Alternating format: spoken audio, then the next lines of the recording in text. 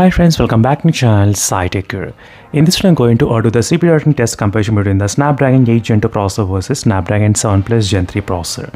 The OnePlus 12R versus Realme GT 6T device. And let's see friends, overall uh, which phone will be having what kind of uh, temperatures and how is overall throttling going on between these both phones.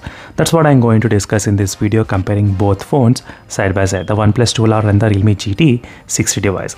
So let me to go back and let's start the test and we'll try to continue the overall CPU throttling test results and we'll try to see which phone will be having what kind of uh, temperatures and how much battery will be draining how will be the throttling as well while doing this testing.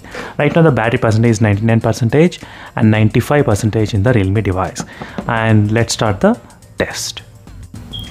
So right now as you can see friends is a quick uh, CPU throttling test comparison between the OnePlus 12R versus Realme GT 6T and in the OnePlus 12R it's about 37 degrees Celsius right now the temperatures.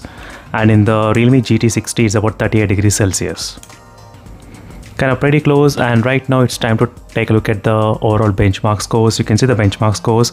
So slightly kind of pretty close to each other we are getting at this moment but you can see the slightly throttling happening in the OnePlus 12R at this point. point. And again I'm gonna be back after some more time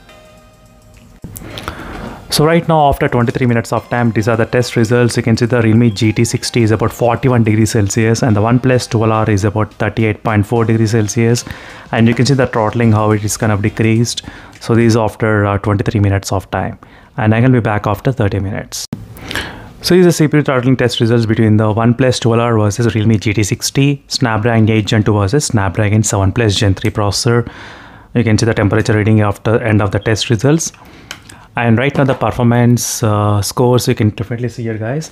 So which is about 463 and 432 slightly higher performance in the OnePlus uh, 12R and you can see the average is 346 versus 363 and minimum is 301 and 341 so slightly better performance we can notice in the Realme GT 6T when comparing with the OnePlus 12R device.